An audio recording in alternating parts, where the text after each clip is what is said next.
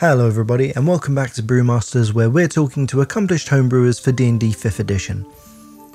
Today we're finishing up our conversation with the Angry GM, creator of the angrygm.com and publisher of Game Angry: How to RPG the Angry Way. If you want to see part 1 and 2, feel free to check out the previous videos, otherwise here's a quick summary of events so far. We've looked back at where D&D started, uh, its real impact on the world, the marketing, and even analysed some of the systems, shining a light on exploration, combat, and character development. Today we're going to take a look at encounter design, the importance of choice, monsters, and NPC intelligence. Before we get to that though, here's a regular reminder to like and subscribe, and if you're enjoying the show, use prestidigitation to click that bell icon so you get a notification when the next episode goes up. And now we just got a quick special offer to show you.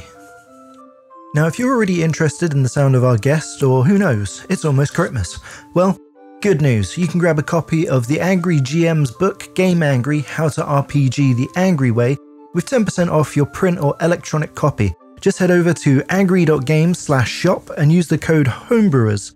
That's H O M E B R E W E R S, all one word and that discount will work until December 31st. It's a great encapsulation of some of Angry's best GM advice for players and GMs alike. There's links in the description to make life easy for you, and if you're still not sold on it, let's hear some more wisdom from the man himself on this episode of Brewmasters. But we've gone through from uh, your first TTRPG experiences uh, to D&D not evolving, uh, to 5th edition design processes, to why 4th edition failed, to fifth edition design uh, involving player base, to the three pillars, to exploration, to Hollow Knight, to combat innovation, to uh, mechanical complexity, life expectancy and character investment, all the way through to mechanical approaches to character development and emergent storytelling. Right. It sounds like someone took seven different books on game design, threw them in a paper shredder, swallowed them, and then threw them up. and that's our show, ladies and gentlemen. yeah, feel free to use that as your ag- advertising copy. uh, I'll put your quote on the uh, adverts from now on. you might have to edit it down for space. It'll just be. It sounds like somebody threw up the angry GM. I mean, to be fair, it's been a really great conversation. Like you've answered some questions I've had since I started playing fifth edition. I haven't been able to put my finger on. Like, so like one massive thing that's really been pissing me off is like I have a player group, um, or at least I did. They're now kind of one of my players has become the lead GM. Um, but within our group, when we switched to fifth edition, like everyone in my group plays for different reasons, and any other group would have broken up by now. But we're really good friends, and we insist on punishing ourselves.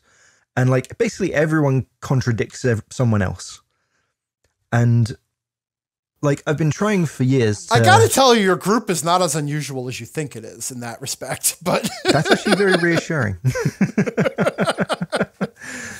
but like a big thing that the whole group agree on is that they like combat to be interesting, and in 3.5 that felt really natural because like you obviously have all that complexity that we talked about, and there was one fight that really stood out to my players. It was a really early one, um, where they fought a oh, I'm not going to remember this monster's name. Um, it's like an undead creature, and its gimmick is that when it attacks you, it also buries you. Okay. Um, and that fight was like so intense for that group, like because they were level like three, I think, and they really wanted me to like give them a hard challenge because I'd been bragging like, "Oh, you guys haven't really been fighting anything too tough." So I was like, "Ah, oh, the Entomber, that was it."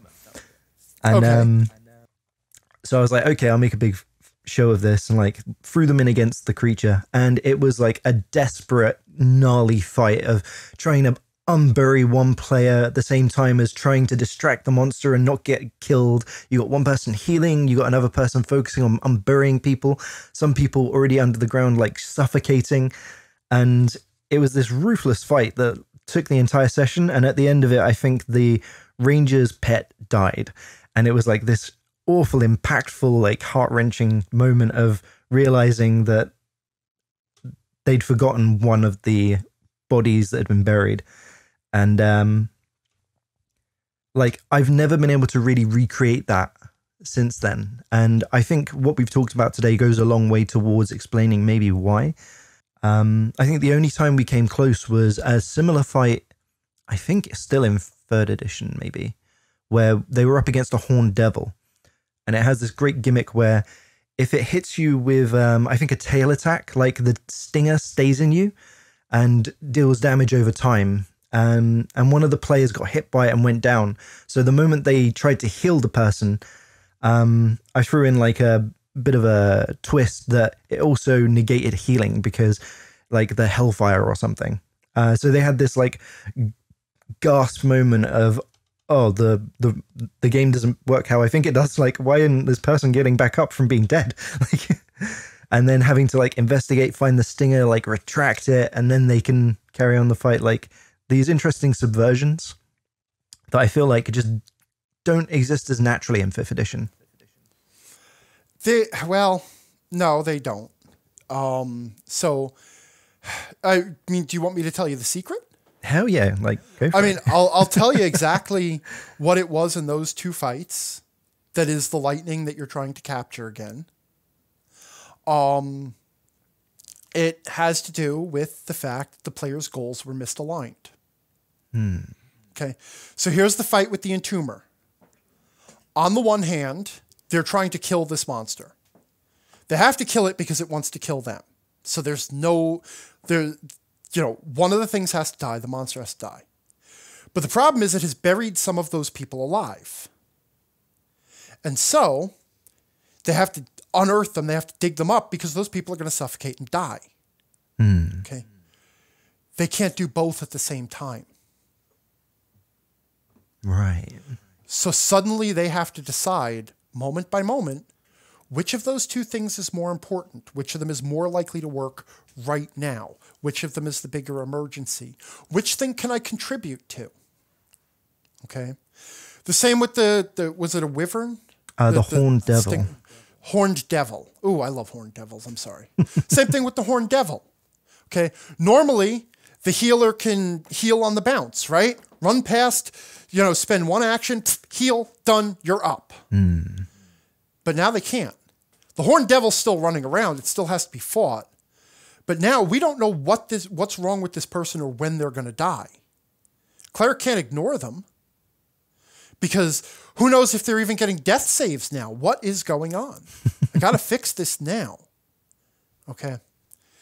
In 99.999% of D&D combats, the players have two goals and they're absolutely aligned. Survive and kill the monsters. In those two combats, survive and kill the monsters were mutually exclusive. Interesting. okay. So what you created there was a dilemma. There was a choice. You can't do both. Th- There's two things you want. You can't have them both. Which is more important right now? so then the players have to juggle. Well, which is more important right now? Which is more urgent right now? What are we going to do? Do we dig up? And in the end, the players paid for the choice with the, the ranger's pet's life. Mm. So as they come away from that, why is that meaningful? Because every one of them is now sitting there saying, We forgot about the, the, the dog or the wolf or whatever it was. We forgot mm. about Scruffy. If we had spent just, if I had been paying better attention, Scruffy wouldn't be dead. Or if instead of attacking, I had gone to find Scruffy, Scruffy wouldn't be dead. Or if we had killed the monster faster, then maybe Scruffy would have survived when we dug him up. Okay. Mm. All the players are looking at that right now and thinking, what could we have done differently? Okay. Whereas if the fight had just been a straight up fight, it's, gee, maybe I chose the wrong attack. Or, eh, it sucks, the dice killed the dog. Yeah, But in that have the situation- Right. There was a dilemma. The players had to resolve it. There's no right answer because they, they didn't even have all the information they needed. Mm. You know, how long does someone live underground for? You know, what was wrong with the poisoned character? Who knows? But you created a dilemma. You put the players in a situation where they couldn't accomplish both of their goals at the same time. Each player individually had to decide which goal was more important for themselves and the party. Okay. D&D does not do that enough. Okay? It in fact, D&D is not written to do that. Yeah, it almost avoids it. Well, that's because those things are hard. Hmm. And because there's almost no strat like you could like at the end of the if the players were the sort of players where they would debate their strategy endlessly because some groups are like that they could have debated the entomber fight forever and Yeah. played all the different what if scenarios and never have figured out what the optimal strategy wouldn't have been because there wasn't one hmm. it's just in this moment, what risk are you willing to take right now? Because you have to take some risk. You have to leave someone buried if you want to go attack the monster. You know, Yeah, you have to sacrifice something. right. There's a cost. Well, there, it's a dilemma. It's a conflict. It's an internal conflict. Choice, real choice, is the act of resolving an internal conflict. There are multiple things you want or multiple things you want to avoid, and you cannot have them all. Hmm. That is what a choice is. Okay. There's a difference, by the way, between a choice and a decision. Okay. Hmm. And the, the difference is it's a conflict. Okay. Decision, like you can make a totally mechanical decision, right? Like you go to the store, th- there's a thing you want to buy. You know, there's a new video game on, at the store. One store is selling it for $50, one store is selling it for $40. Where do you buy it? Well, the cheapest store. Right. There's no choice there. There was no dilemma. Right? I see. Yeah. But what if the store that's selling it cheaper is also a store that that, you know, burns down puppy orphanages in third world countries? Now you have a moral choice. Well, it, but what, more like people say moral choice, but that's still just choice. It's just a dilemma. Because in hmm. this case, you have two goals. You want the game at the cheap. You actually you have three goals. You want the game. You want as much money in your pocket as you can have, and you want to be a good person. True. Which of those three things is more important? Hmm. Yeah. But that that's what makes choice meaningful. Because it's those choices. Those are the ones that reveal you as a person. Okay? True. The person who is willing to buy the game cheaper from the puppy orphanage burning store. Uh, I don't even know how that business model works, but it's got to, because they're turning a profit, so it's got to do something. The person who buys it has said something about the relative value of video games, the dollar in their pocket versus the lives of puppies in third world countries. They have said something they believe, whether they have meant to or not. Okay?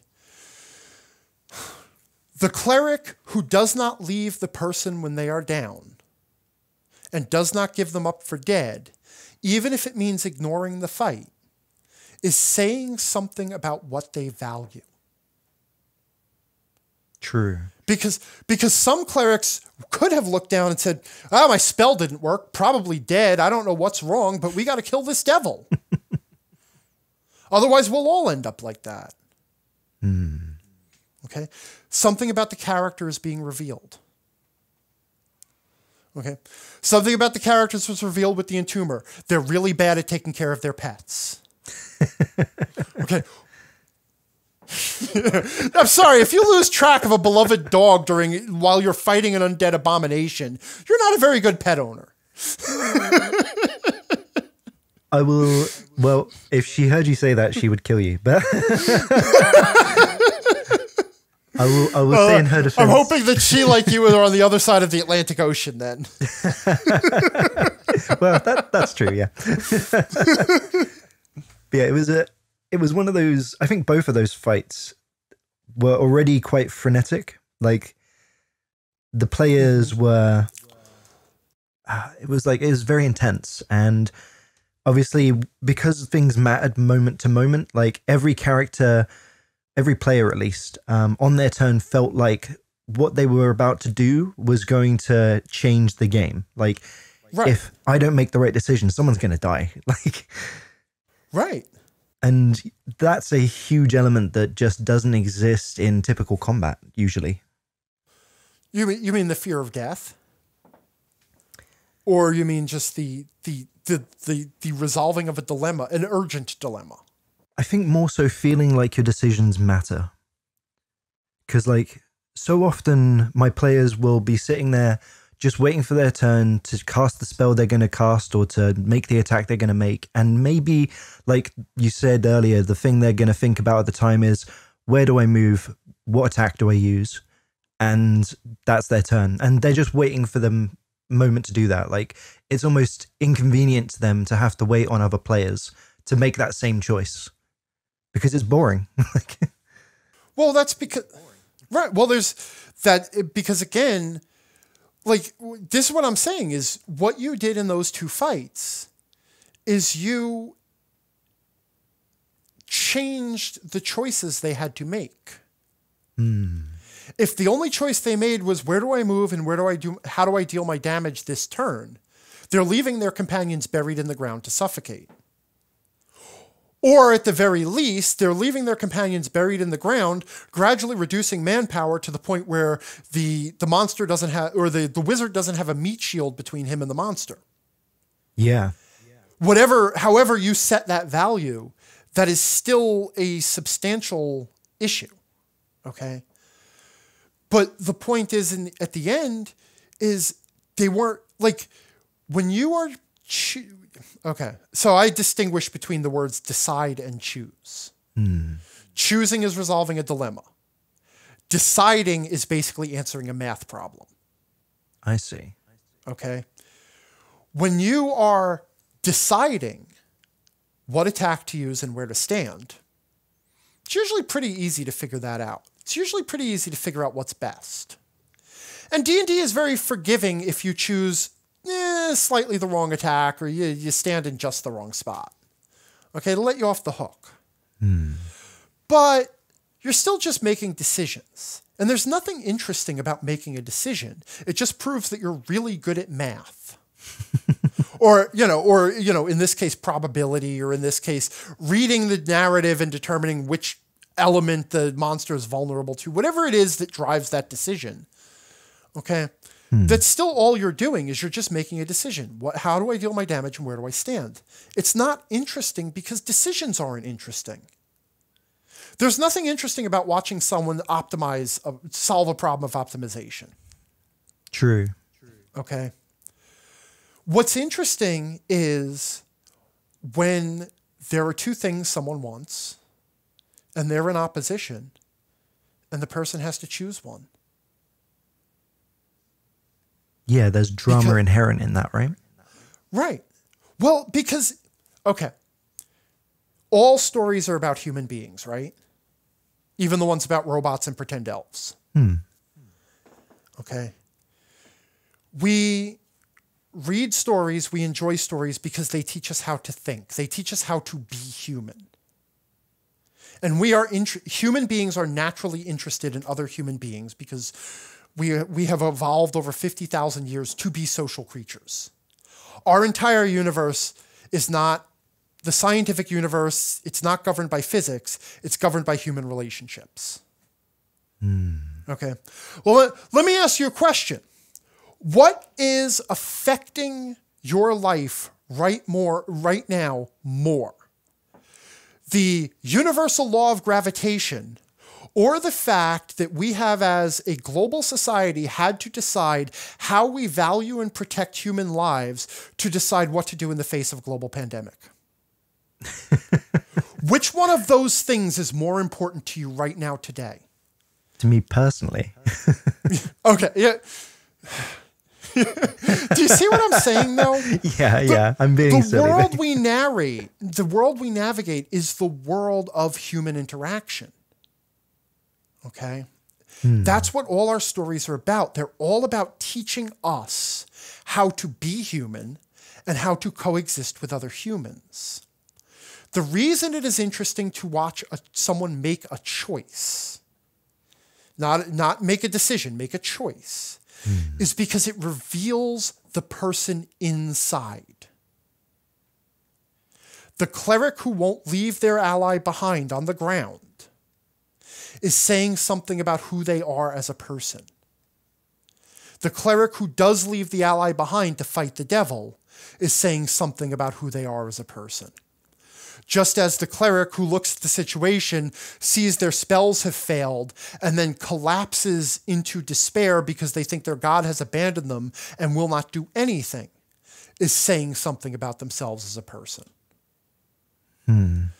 Just as the player who stands up yells that the GM is a killer GM, that the rule book says specifically that the spell is supposed to work this way, and then slams the book down and storms out because he believes you're always screwing him this way, is saying something about himself as a person.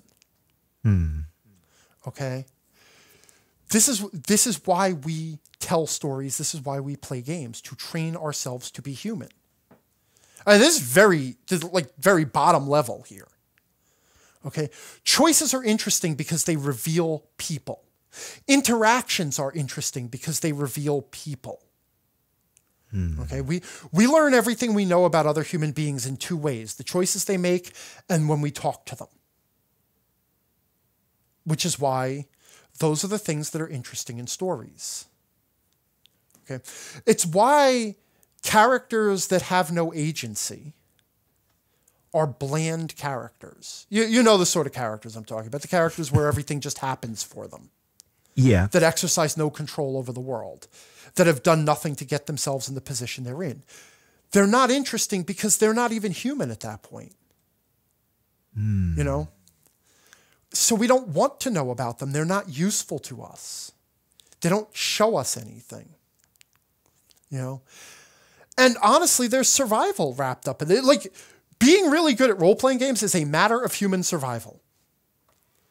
Because when you start to recognize in the story of the game the cleric who will not abandon someone when they are down versus the cleric who will run away versus the cleric who will be so focused on the fight they won't even notice that you fell. you learn something about how to recognize the people who will stand by you, the people who will fall apart, and the people who will fight for you. Which is useful to know when you're forming human relationships. Your brain is absorbing all of this information, and your brain can't tell the difference between a fictional character and a real person. So, by playing the game and watching this cleric, so what is it about that cleric that said, This is the person who will not leave you when you're down? Or this is the person who will stand between you and a monster because that's the best thing they can do in this situation? Or this is the person who just falls apart and panics when they feel like they can't contribute anymore? What are hmm. those things? Because I need to know that for real. I, I know I'm putting a lot of like this, this is a lot to put on a role playing game and a lot to put on a combat with a with a bearded devil, a, a, a, the- yeah, Yeah. horned devil. Yeah. But here you go. You want to know why your brain responds to this stuff? This is it. Well, no, I mean it's still it's still applicable. Like I think you say it's like this is all just the basics, but I think sometimes we do need to remember the fundamentals to be able to properly analyze things. Like these problems of why these situations hit so hard at the time. I've not been able to properly like deconstruct them in this way. Right. No, but I didn't say this was basic. I said this was the bottom. This is the root. Okay. This is the deep core of why stories, eh, you know, fascinate people. This is the deep core of why we play. Games are a way we test ourselves. All animals test themselves through play. Kittens learn how to fight by playing with the other kittens in their litter. Okay. We, we learn our survival skills through play. Our lives are all about humans and understanding the humans around us. A role playing game is a game experience about stories, it's about humans. Hmm. We are, you're basically learning the survival skills you need to survive a social world. That's why role playing games appeal. I mean, at their core. There's layers on top of that. Like the people who like exploration, or the people who like this, or the people who like that, or the people who just want to shut their brains off and escape. Okay, that's all on top of this, this deep fundamental craving that your brain has for A, stories, and B, games. Hmm. Your brain is hardwired to want stories and games. The stories and games that appeal to you most have more to do with higher level preferences. But stories are about people, games are about training yourself. you know. And what are the things we have to do most? We have to interact socially and we have to resolve dilemmas. We have to make choices. It's a role playing game.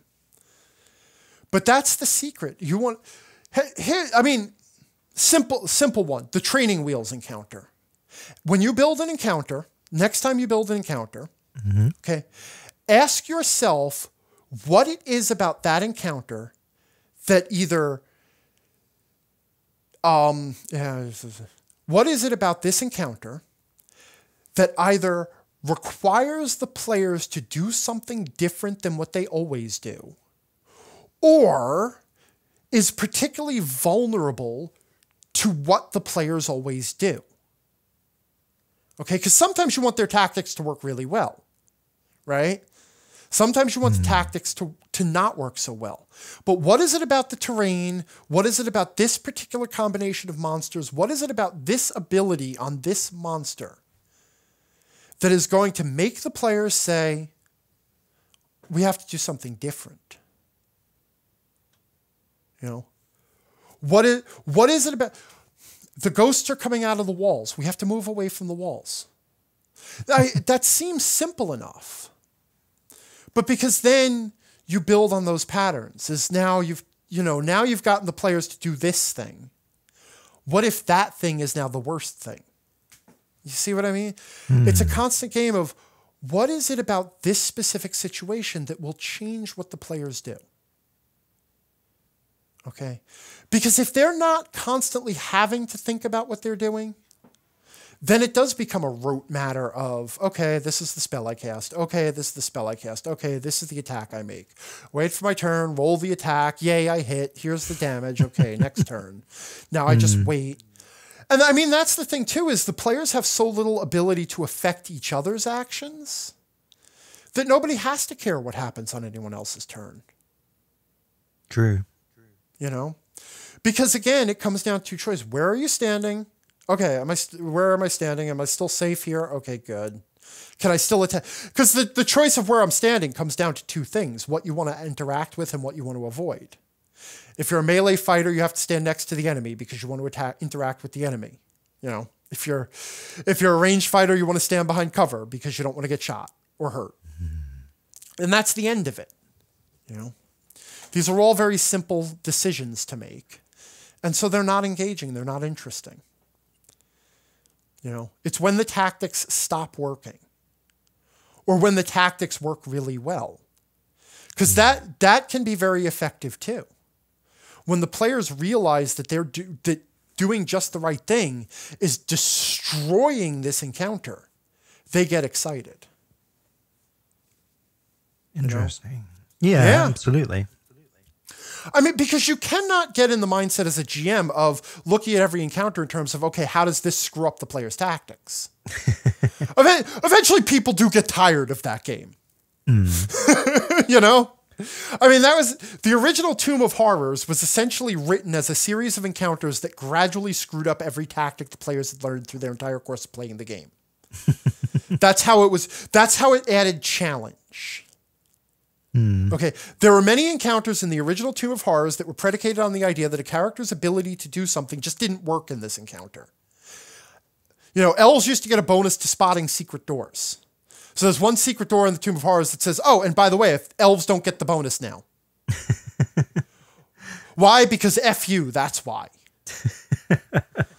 okay, that was how Tomb of Horrors built challenge. It just gradually invalidated every player's tactic.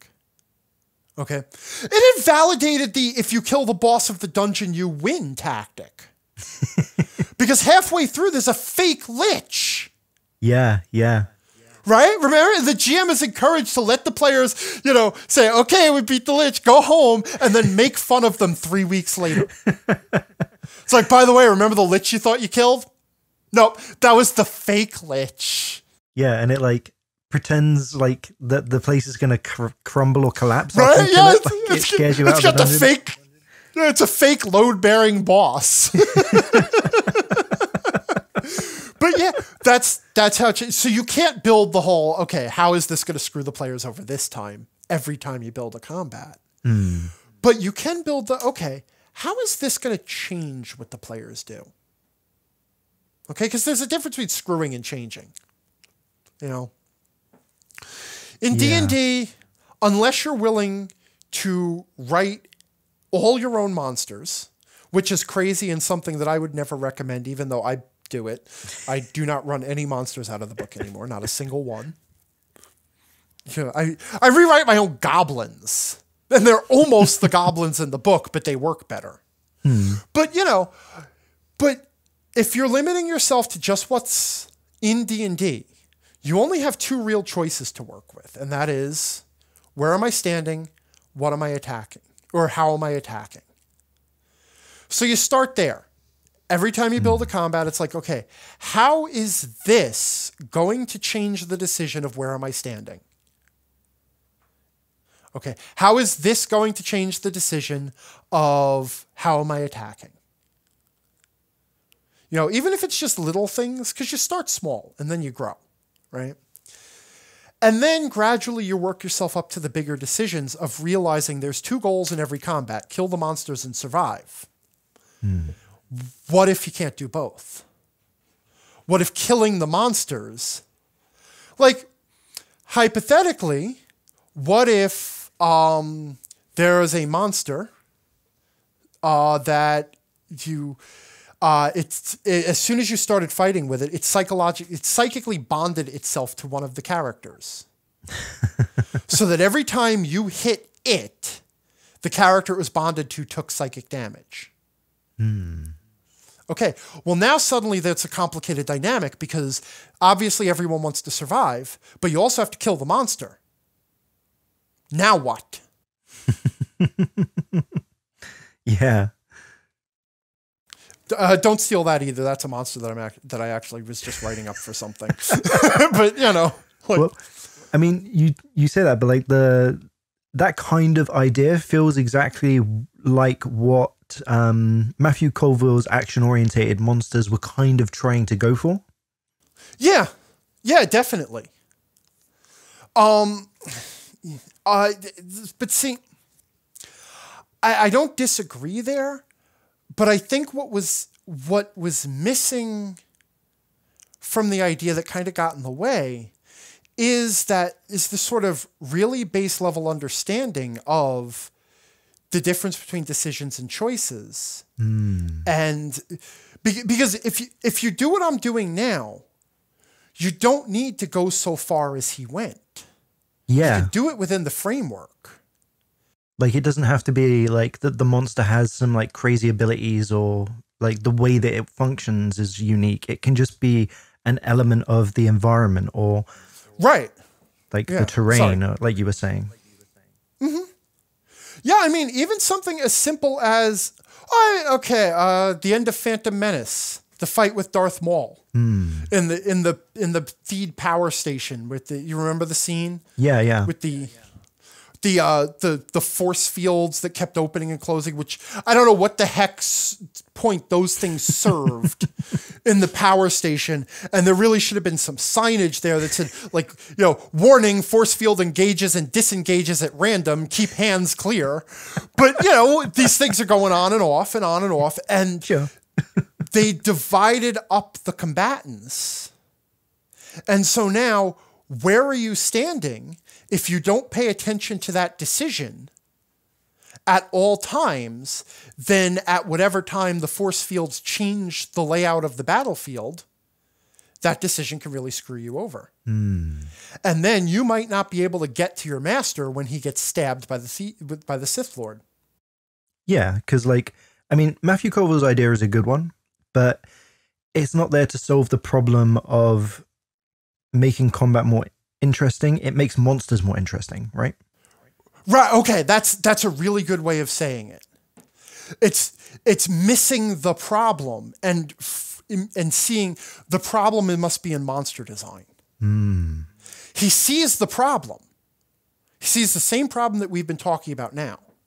And to his credit, for the problem he identified, it's a really good solution. Yeah. Okay. Again, I'm not. I I, I made one joke about about strongholds and followers, and I do feel bad about that because in the end, it was it was actually a, a really good product within the D and D framework, and I, I you know, but by the same token, it's if you go beyond that problem to really dig down to the bedrock you know this, this sort of it's almost a mental bedrock. It's like why is this why is combat interesting to begin with? Well why is anything interesting to begin with? Why is a choice interesting? And i hmm. realize that there's a lot of digging you have to do to get to that point to solve that problem. But you know so he he solved a problem in an interesting way you know but but there is a there is a bigger problem underneath it you know because honestly then you can really work within d&d's framework. Still if you're willing to break out of it you can do even more interesting things. I mean um, one of the rules i've toyed with is a telegraphing rule. That is that um, monster the, I can't remember the exact phrasing of this because I'm constantly changing the phrasing of things. Wording things is the worst part of designing anything. Uh, yeah. Figuring out how to actually word the rules. But so try this on your monsters. Monster has that one unique ability, right? Like uh, fire breath, or you know, the ability to cast a lightning spell, or whatever it is. That one whammy ability Yeah, it's gimmick. that, that the monster has. Right. Okay. Okay. The monster must declare its intention to use that action at the end of the previous round. Hmm.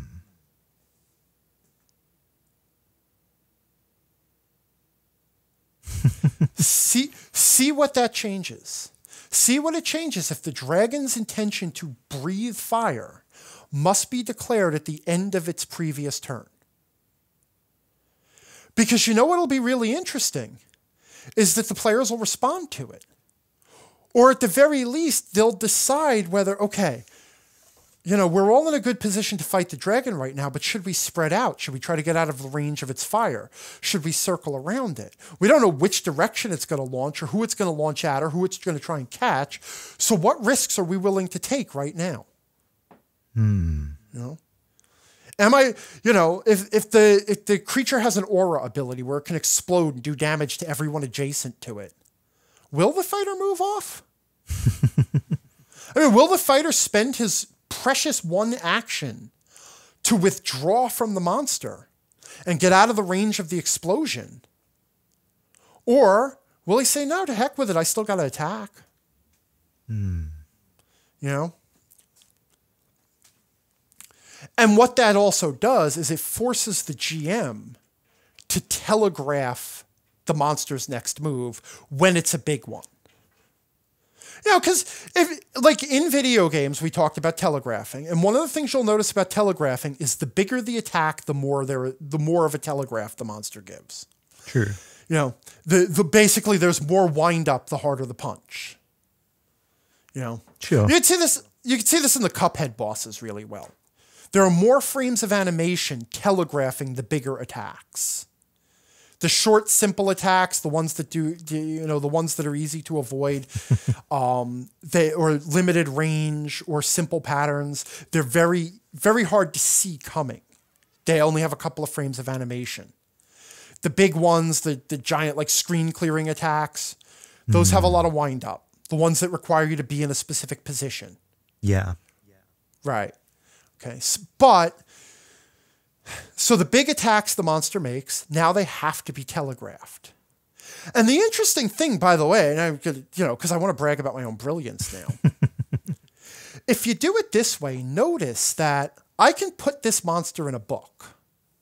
You know, and just it has an ability that specifically says, um, like at the, at the end of its turn as a bonus action, the monster can charge its fire breath. At the start of its next turn, if the fire breath is charged, it can use the fire breath. You know, you just put these as conditions on the attacks. Sure. You know, um, and if it doesn't use the charge at the end of its turn, it loses it. Okay, so now freely as a bonus action at the end of a turn, it can charge up its fire breath, and then the next. What I'm doing is forcing the GM to telegraph, even though I never explained to them what telegraphing is or why they should do it. The True. mechanics on the stat block make them do the thing that makes the game work best.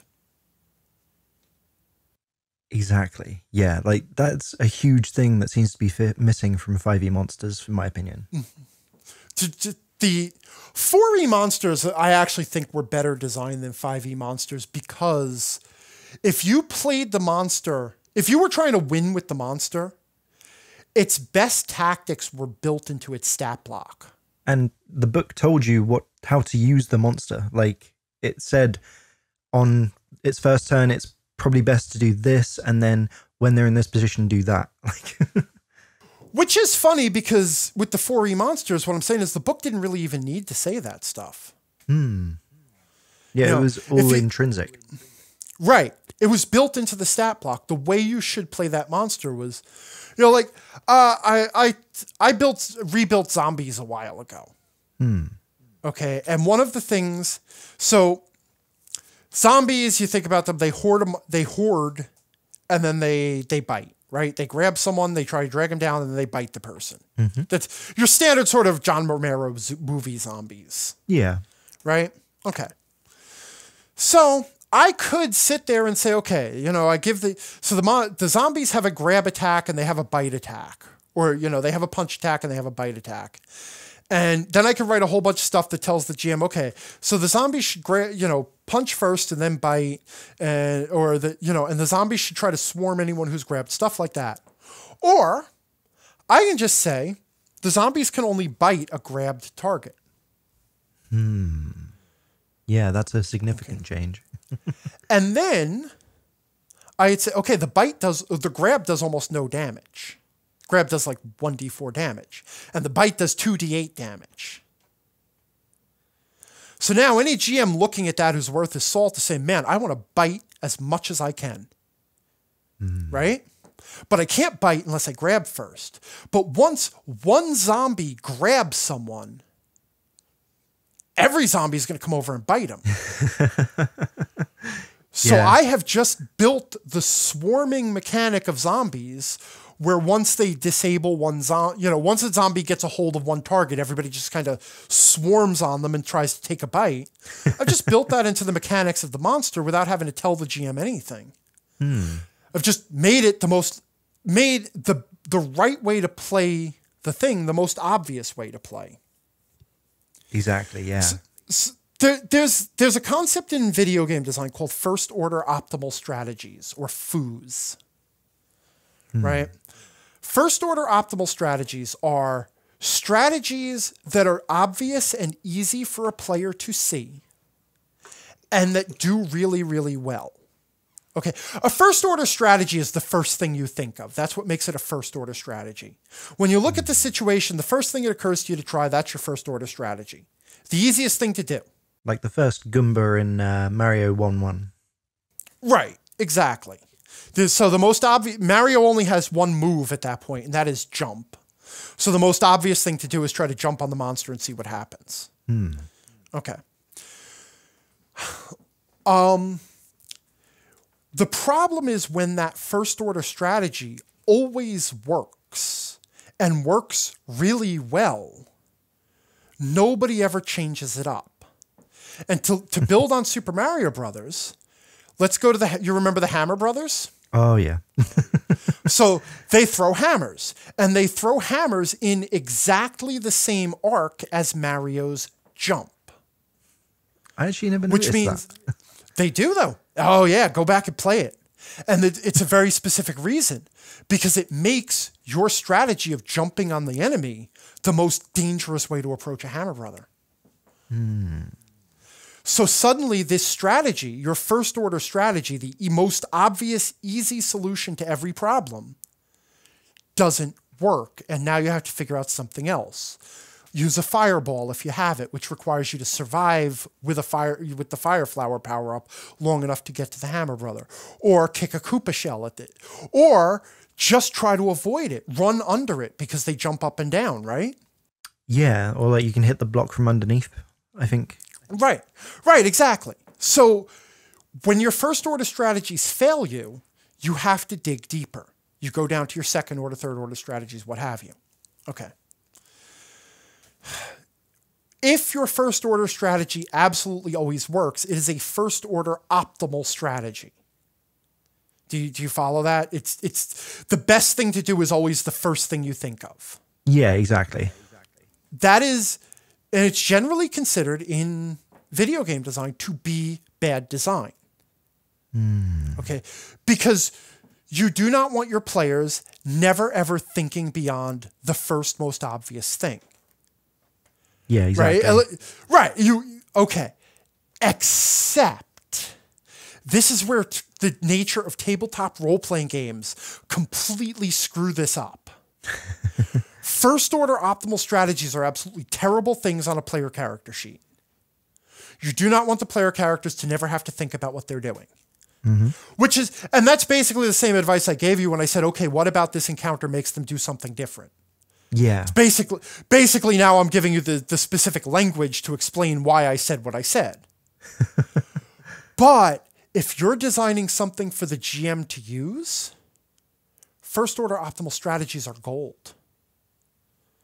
Hmm. The GM just has so much going on. And the GM may not be a strategic and tactical genius. And the GM is outnumbered at the table five brains to one. I see. Okay. Yeah. And the GM has to parse a lot of information on every stat block. The GM is constantly learning how to play a new monster. So if you can build monsters that have very obvious optimal strategies built right into them, that are interesting, by the way. Not like the the most optimal strategy can't be, uh, and if it hits with this attack, it kills all the characters. yeah, that's it's not what I'm saying. Is it's something like that zombie thing where as soon as you look at that character sheet, you could say, okay, this is the best way to play a zombie. Okay. You want GMs to be able to spot those things immediately because then it saves you thousands of words. Because now I don't have to explain my monster tactics. I just have to trust that the GM ha- can do basic math and recognize 2d8 is a lot more than 1d4. and then convince the GM that yes, he really should be trying to kill the monsters or kill the players with the monsters. Hmm.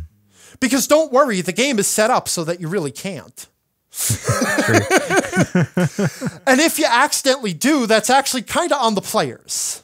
It's the player's job to figure out how to, not, how, how to not die. It's not your job. Your job is to force them to figure out how to not die. Okay. Your job isn't to keep the players alive. Your job is to empower them to keep themselves alive or make them die trying. It's a good way of putting it. Well, it's because I mean, look at um, what's the fellow who does the uh, the monsters know what they're doing? Right? Have you seen this? It sounds so familiar. Okay, it's a fantastic website that became a fantastic book. Okay, and I cannot remember the person's name, and I should. I have a computer in front of me, and I could actually just tell you the name. But the the premise is he goes through all the monsters in the monster manual. Well, he goes through one monster at a time in in like blog format, and he looks at the monster and he tells you the optimal strategies for to use for that monster. Tells you just how to play that monster. But he also has to spend a lot of time, at least in introductions and occasionally on social media and stuff, giving GMs permission to try and kill the characters. because hmm. somebody got it into the the player's head or the GM's heads, and I don't know who this was. That the if the GM is trying as hard as they can, not trying as hard. Wait, if the GM is trying as hard as they can to kill the characters with the monsters, they are a killer GM. okay, and the thing is, my philosophy is build fair, play to win. Hmm. If you build fair encounters, or reasonably fair encounters, and then play the encounter as if you're trying to actually, as if you're the monsters and you really want to beat the characters, as if your life depends on it, then you will challenge the players and the challenge the, the players will it's on them whether they win or not. But of course i get called a killer gm for espousing this too. Keith Ammann by the way is the fella's name. Ah, yes, because I mean, I actually just googled, um, but yeah, I recognize the book because I'm sure one of my players actually showed me this recently, or um, one of my DM friends. Well, you know, it's a funny extension of an argument. Like, um, have you ever had the argument with with another GM about how well a wolf only has animal intelligence, so it wouldn't be smart enough to use its tactics? I actually haven't. Okay, there there is this interesting argument that the a, a GM will look at the raw intelligence score on a particular monster and decide that ca- that animal is objectively unintelligent and therefore should fight stupid. I'm like, do you know hmm. anything about animals or evolution or wolves? I mean, I've heard similar kind of arguments used in discussions on how tactical a creature inherently would be. Like whether I think it was um, a Matthew Colville video. He was saying something like, if you want to justify keeping a player alive, you can say that the creature might not be intelligent enough to do more than want to disable them and then move on to the next threat, that kind of thing. I think that's Uh. where I've heard that kind of argument come up. yeah, I, I mean that that's an extension of the same thing, but it, it- obviously it's silly though. You know, if, if you have a hungry monster, um, it, it, if it if it is threatened, obviously it is going to fight off the threats. Um, if it has a ready source of food in front of it and it is threatened, it is going to continue to fight off the threats. You don't need to justify that like an owl bear wouldn't deliver a killing blow to a downed person if other people were still fighting it. you know what I mean? Like it's not going to stop to have a snack. But when you get to intelligent monsters, then the the dynamic changes. Like one of the things that makes orcs scary in my world, for example, is that um, orcs are among the few humanoids that will make it a point to coup de grace a downed opponent. They will kill a downed opponent. That's just how orcs are. They are just they're savage. They Sure. drop someone on the ground.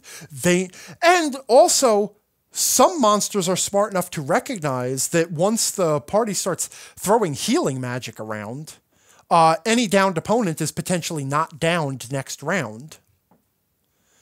So, you know, but orcs and gnolls in particular in my world are savage enough that they, that they are known as known for their coup de grace. Which so now here's the interesting thing if you go back to what I told you earlier about the what about this monster changes what the enemy what changes what the players will do. Most players feel reasonably safe leaving someone on the ground for a couple of rounds. Right? Sure. Like if the if the fight's going really bad and someone goes down, they know that that person has at least two safe rounds before they're dead. okay? Yeah. So when they're fighting an orc, what about fighting the orc changes what the players do? Now they know if they go down in front of that orc, next round that orc is taking out that person, dead. Coup de hmm. grace, dead, dead. Do they do they fight differently? You, you better believe they do. Number one, I'll tell you, once players have figured out my orcs, uh, first thing is very rarely does anyone go below zero hit points. okay. Players are pretty blase about getting dropped in a fight. It's like, ah, I got dropped. Somebody heal me. Ah, Yeah. darn. Yeah. You know, and then they'll fight to the bitter end. You know, whereas when the players in my world are fighting my orcs, they they're like, uh, I only have five hit points left. Uh, I'm gonna retreat. You guys handle this orc. Because they know if they drop, they have until that orc's next action to di- before they die. And depending on how the initiative plays out, that could mean you drop your dead. True. You know, and I, um, not apo- I don't apologize about that either. It's like, look, you, this is how orcs are. You shouldn't have let yourself drop to zero hit points because you knew it was an issue here. you know. So it's what about this monster changes what the players do. yeah, it's great to have like the practical examples you're giving as well. Like it really helps me put it into context. I'm glad to help out.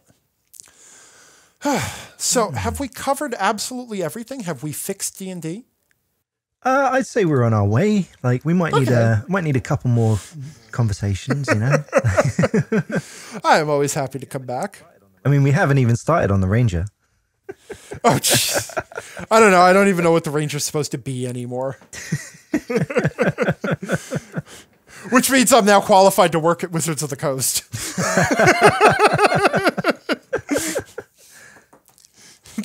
One of their interview questions is, "What's a ranger?" And if you write anything other than "I don't know," then they don't hire you. It's like one of those Google interviews. oh man. But no, I think this has been like really illuminating. Um it's been very cool to be able to like hear your process of breaking down the uh mechanics and like the fundamental psychology even behind the game design, which is really what I think is core to your work. Like it's the main reason that I've been following you for a while now. Like the reason I bought your Kickstarter book. Like Well, thank you. you have some really interesting insights that I don't think other people necessarily uh, go into in the same way.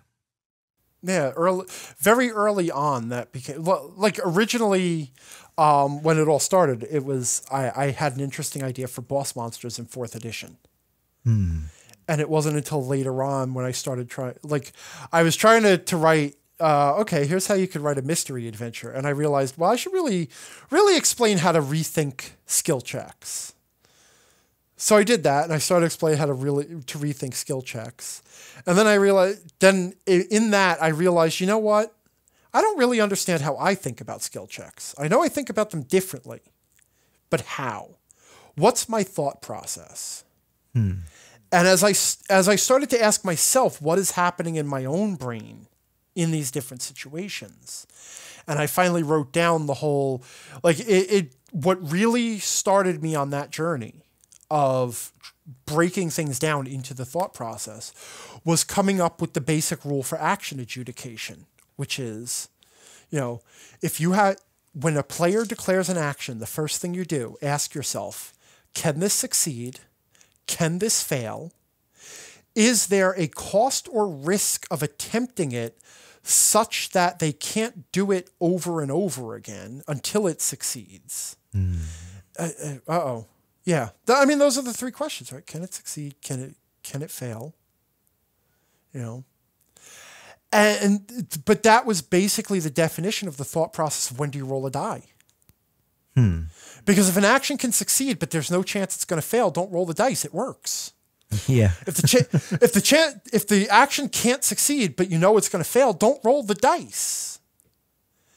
And if the action can succeed and it can fail, but the player could just keep doing it over and over and over again until it succeeds, don't roll the dice. Because they'll just keep doing it over and over again until it succeeds. True. Okay? Like um like the the lock picking question. I try to pick the lock, roll the dice. Okay, you failed. Can I try again? Sure. roll the dice. Why does that happen? Yeah. Uh, you know? You know, I if there's nothing in the situation that that that changes, the player's not going to change their like I love the whole like the navigating and tracking rolls. It's like you know, if, if someone is tr- navigating across the wilderness or they're tracking a creature, you know, every hour have them make a roll again. Hmm. It's like, why are we doing that if nothing changes? It's not like they're going to change their mind halfway through and be like, you know what? Eh, I don't need to track anymore. I, I tracked enough. I'm done. Know, they're just going to keep doing it. There's no choice involved. Why roll a die about it? Just let the die roll cover the entire choice Yeah. unless something changes. You know, if the party goes to sleep, they wake up the next day, they don't know what the weather is going to be. That could destroy the trails. Plus, every day that they don't follow a trail through the wilderness, the trail goes colder. You know, so when it's getting late, at, in, you know, when it's starting to get dark and it's dangerous to travel at night because you'll fall into an unseen ravine and break a leg, uh, then the party starts to get nervous about, well, if we don't follow the trail, then we could lose the trail. But if we do follow the trail, we could fall into a ravine and break our leg. Or worse yet, at four in the morning when we're all suffering from exhaustion, we could find the thing that made the trail. yeah. None of those are good situations. See, but you know, they but until then, it's like why roll tracking checks over and over again? Why roll navigation checks over and over again? Yeah, and it's Nothing- something I actually have to tell my players when they're starting to DM um, is that if there is anything in the game that you need to happen, don't make it a check. Because, like, what do you do when they need the key to open the door to continue the story and get the whatever? If you make it a check to find the key, they haven't found it. So, what does your story end? Well, okay, see now now I want to come at you. Cuz I have different advice. If you as a GM are writing a story that requires something to happen to proceed, you're writing a novel, not a role-playing game. that is true. It's like if they need the if they need a key that i- that is hidden behind a door and they you know they have to roll to break down the door, um, then if I'm not prepared to handle what happens in the game when they don't get the key, then I have not written a role playing game. Hmm. Okay, so you have to do one of two things. You either have to figure out what happens when they don't get the key, which, by the way, could be they lose the adventure. The princess is sacrificed to the archdevil. They didn't get there in time. Whoopsie doodle. Dad's mad now. you know? also, archdevil. you know? Like, sure. it's, it's okay for that for them to lose, which is something many GMs never consider. Like, ooh, because you just said it there yourself. You said it very flippantly, but it's like, what happens? The story ends. It's like the story doesn't end unless you stop playing. Hmm, true. What you really need to ask yourself as a GM is what happens in the world when the players don't have that key. That's really good. Yeah. it's okay if they don't get the key. It's okay if they don't win the adventure. But you better think about it, what happens next. Or you better be really good at improvising what happens next. And I mean, there, there's another flaw. I've, I've said this before. Um, if like, so you're going to sacrifice the prince to the to the archdevil. Um, you know, that's the cult's goal. Feed the archdevil with the prince's soul or whatever. And then the archdevil is going to rise and destroy the world. Okay. As a GM, you better be prepared to figure out what happens the day after the archdevil rises. Hmm. You better be prepared to figure out how the world proceeds without the prince in it. Because you, as a GM, should never point your GM gun at anything you're not prepared to pull the trigger on. That's a good way of putting it. You want to threaten something in the world? You want to threaten the players with a consequence? You better be ready to carry through. okay. And if the consequence is the world is destroyed, you better be ready to start a new campaign tomorrow. and I, you know, I've done that too. I have had games where the destruction of the world was on the line and the players screwed up and I destroyed the world. It's like, all right, starting a new campaign tomorrow. What? Like, if you didn't win this adventure, the archdevil destroys the world. You didn't win the adventure, therefore, dot, dot, dot, Figure it out yourselves. Everyone decide what you want to play for the next game. I'll come up with a plot. Goodbye. Jesus. Well, I otherwise don't threaten it. No, Anything else is railroading. It's fair, yeah. And I mean, a big reason why my last campaign actually stopped running was because I realized that I had basically been writing a novel and nothing the players did had any meaningful outcomes. They were just kind of playing through different pre-written stories and none of them were enjoying it. Um, I believe, again, to bring up Colville, who did a whole video on um, the railroad versus the sandbox and using like Lord of the Rings as the examples. Um, like, I think I'd seen it a couple times and thought to myself, well, my players have meaningful choices. They can choose to go down this way or that way. But I was overlooking the fact that no matter which direction they went, they ended up at the same place doing the same thing. And like, I'd already written like what the final level 20 mm-hmm. boss was going to be. By the way, though, it's okay to do that. Okay, it's okay to know who the boss of the campaign is going to be. It's okay to plan out the campaign. As long as the minute the players do something to screw up the plan, you change the plan. and that was the problem, I think, because Yeah. I was just finding ways to get them back on course. Uh huh. And yeah. Which now, the counterpoint, because I will never make an argument without arguing with myself, the counterpoint to this is also, to some extent, it is okay to railroad your players and keep the game going along a certain course hmm. because everybody agreed to play that game. If the game is about saving the world from the archdevil, okay, and the players decide partway through to ignore the archdevil plot and open their own noodle shop, I have every right to stop the game and say, you know what? This isn't the game we all agreed we were going to play. I don't want to run Four Monks One Noodle Shop. It's an amusing story, but that's not why I got into D and D. sure. Okay. Uh, I wrote this campaign about an archdevil, and you all agreed that sounded like a cool idea. So get yourselves back on track, or we scrap the game and I'm going to run something else that we all agree on.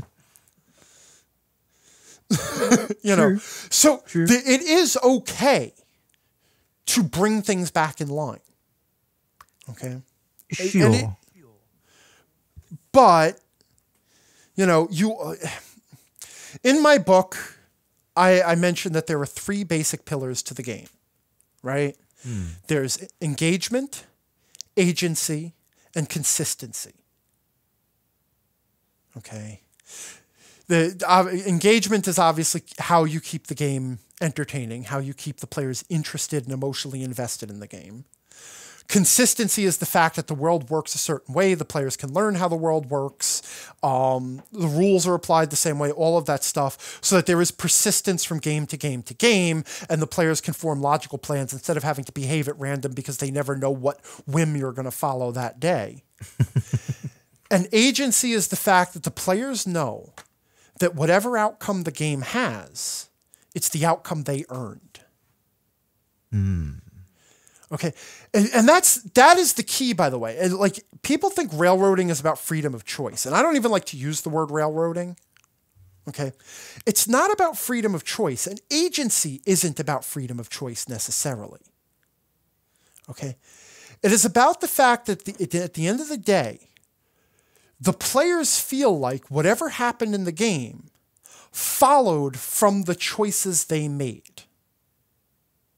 Hmm. Okay. And I'll point this out too. Okay, so let's take a simple railroad versus sandbox adventure. Okay. Sure. So rail, railroad adventure. The players are hired by this village to go kill a dragon that has been threatening the village. They go through the wilderness to the dragon's cave, fight through the kobolds in the cave, eventually confront the dragon, kill the dragon. Simple linear adventure. Sure. Okay. Now let's take a sandbox. Okay. There's six villages on the map. The players have basically a vague map. They know where some of the villages are. They stop wandering around the countryside. They come to the village. While they're in the village, they hear several people talking about how they are so downtrodden because the dragon keeps attacking them. They become interested in this idea. So they ask, you know, you know they say to the, the townsfolk, we would like to help you with your problem because they have decided to do that. Mm-hmm. At which point, they travel through the wilderness to the dragon's cave, kill the kobolds in the dragon's cave, confront the dragon, and kill it. At the end. Okay. The only difference between a sandbox and a linear game, or- or once the players in a sandbox have found a goal they like and choose it, it is indistinguishable from a linear game. True. Okay. The the the distinction between a sandbox game and a linear game is the GM is going to scatter some number of goals around the map and leave it up to the players to decide which goal to choose or to choose none of the above. Hmm. Because if the players just want to keep wandering around the map, finding the next thing, they can do that. Okay. Yeah, they're But choosing which rails they want to ride. Right.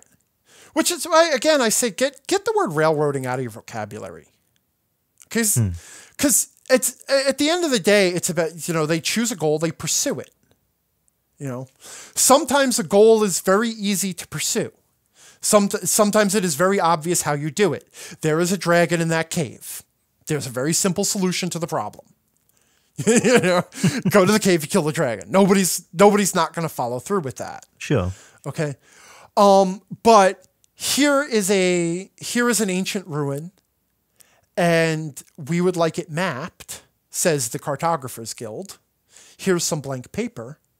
Now the players can kind of explore at their own at their own pleasure, go wherever they want, and you know, th- and deal with whatever challenges they want, run away from whatever challenges they want, and just handle it their own way.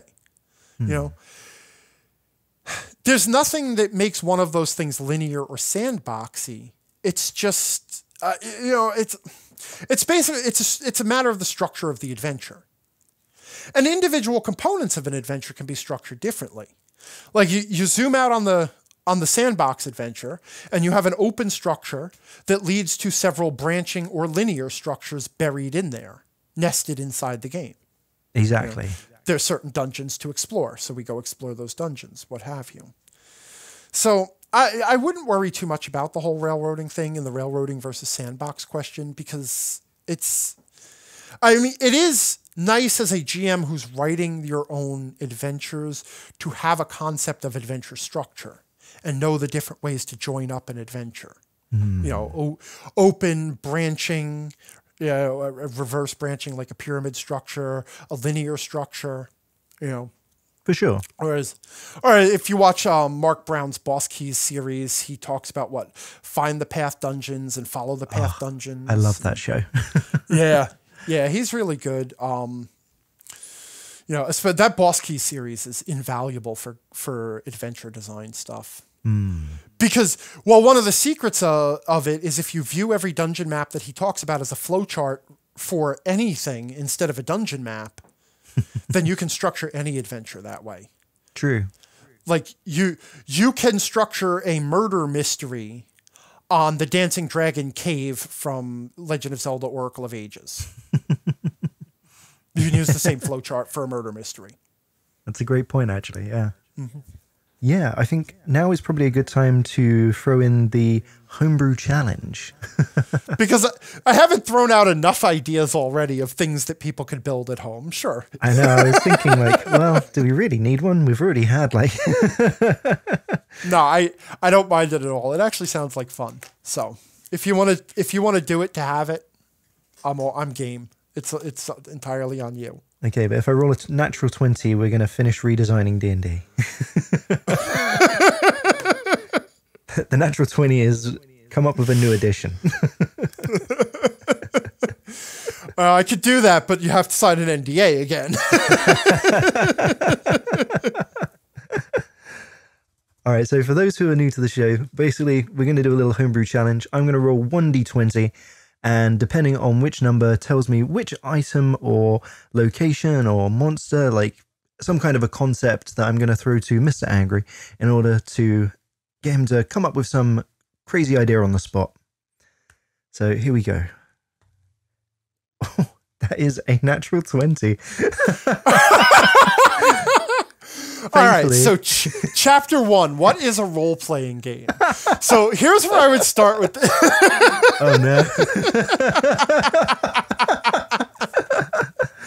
no, no. Thankfully, twenty is in fact a location. uh, a location.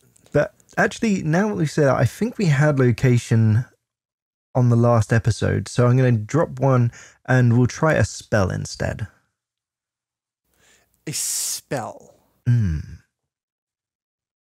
Um, uh, uh, just anything like no no constraints, no fey fey attachment or something. Oh, man. I'm happy to give you some constraints if you would like them. Blank page syndrome is the worst here. um, let's say it is a spell related to communication. Communication, huh? Um, let's see. This is a problem because now, like, you try to, th- as soon as you try to think of the idea, the first thing you have to think of is, has it ever existed in any game ever? Mm. Do you know? Um, well, there are certainly a few uh, messaging spells in D and D that were very popular. Right, and there's certainly sending an animal messenger and stuff like that. Mm-hmm. Um, mm. And then there's also the the telepathic stuff. So what sort of messaging isn't there in D&D? You know, okay. So here here's an idea. Mm-hmm. Because one of the things that used to exist in D&D was alignment languages. Oh yeah. Okay. Yeah, there were there used to be a, a, lawful language and a chaotic language and a neutral language, which was very ambivalent and went back and forth a lot. But um and it is very easy for a spellcaster to to communicate directly with one person with a spell like like the like the the spell that lets a warlock or it might even be a class feature that lets the warlock just whisper into somebody else's head. Yes. But what it would really be nice would be to have some sort of contingent communication spell. Whereas a a wizard or, or as maybe as a bard even cast the spell could specify a particular condition, a trait or quality or something that he specifically wanted to be able to understand or not understand the message that he was just about to say. So what I'm saying, okay, so if the person wants to specify only only their allies and speak out loud, so then they cast a spell and then they can speak a sentence, and their allies will hear exactly whatever they say. And anybody who is not one of their allies will hear incomprehensible babble or like sound like they're speaking in tongues. Hmm. You know, so, you know, if they're, or if they want to make a general announcement to an audience, they, they're about to be hung and they know there are a bunch of rebels in the, in the audience watching, just waiting for a signal. Then with their last words, they cast this spell and then they speak something only they only people who are members of the, of the red brands can understand. Everybody else will just hear this incomprehensible babble, and the red brands will hear, you know, on my command, ignite the powder. That's you know? fantastic. Yeah, something like that. Just a on the fly contingent communication spell. That would be cool. Hmm, very cool. All right. So yeah, I think that is probably going to bring us to a close then.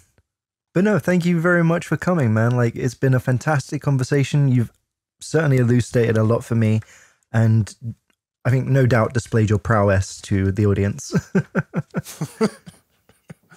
well, thank you very much for having me. It's been a lot of fun. It has been a fantastic conversation. Um, and hopefully, we'll get the chance to do it again sometime. Yeah, I would love to. I mean, yeah. we didn't touch on any of the topics I had written down. I mean, I didn't even get to ask you why they call you angry. you don't want to ask me that. I still have the aorta of the last person who asked me that in a jar. Oh,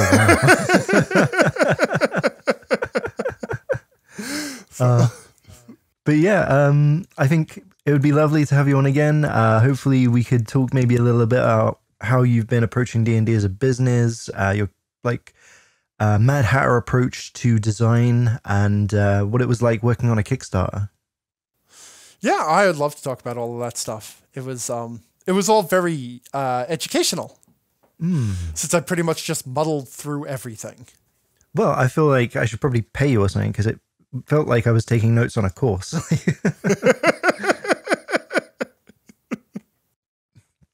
but yeah, you definitely taught me a lot today, and I appreciate that. That's part of the joy of having these conversations. Is it helps me be a better DM by learning from others. And you know what's funny too is in discussing this stuff, um, I get a better handle on the way I'm viewing it. As as I said to you, a lot of times when we're talking about these things, I'm not really having a conversation. I'm just thinking out loud. You mm. sort of work things out as you talk. So it, it's it's very helpful just to have the opportunity to talk through this stuff, you know. And there there's certainly things that have come out of this that now I have to think think long and hard about too. You know. Plus, plus that entomber fight, I really want to steal that idea. See what I can do with it.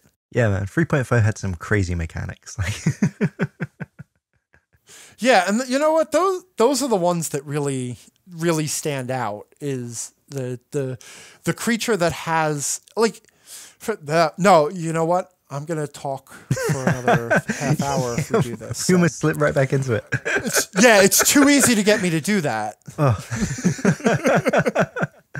okay, well let's sign off here. Um, thank you very much again, and uh, we'll chat again soon. uh, thank you. And that brings us to the end of this small journey. Thanks again to Angry for joining us, and if you want to check out his work, head on over to theangrygm.com there's a discount code in the description for his book along with the store link. Uh, it's not a paid promotion, and if you've listened to all three episodes, I hope you have an appreciation for why I picked the book up. It's a great resource, and if you like what you heard here, there's plenty more to be found in those pages, as well as on the website. Last but not least, thank you for making it to the end of the video, and until the next adventure, stay safe and have a Merry Christmas.